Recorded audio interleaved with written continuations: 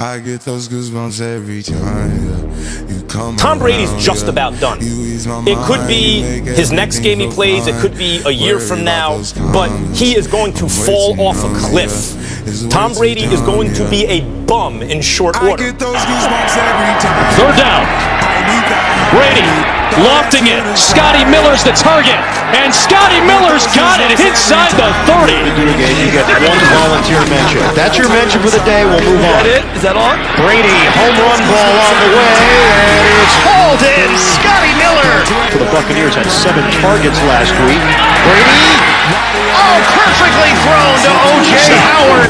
I'm slipping low key and I Brady, deep shot get those goosebumps every time. to the end zone for Miller, and it is caught for a touchdown. Going in at halftime. Brady lofts it. Gronkowski. Third and 15 with pressure. Brady goes deep. What a throw. First snap in Vikings territory for Tampa Bay. Brady all day. Downfield. Touchdown. Scott Miller. Four-man rush. Brady airing it out, going deep. He's got it to Antonio Brown. Touchdown, Tampa Bay. On third down after the timeout. A lot of room to run, but Tom doesn't do that. For the end zone. Touchdown for the Bucs. 12. Brady in a three-point game. Wants to go deep. And for Godwin, he hangs on. Leonard Fournette the back on third and three. On play action, Brady to his second look. It's open. It's Antonio Brown for the touchdown. Have commented on that at age 43. He dropped here. Brady down the middle. It's caught for the touchdown. Godwin.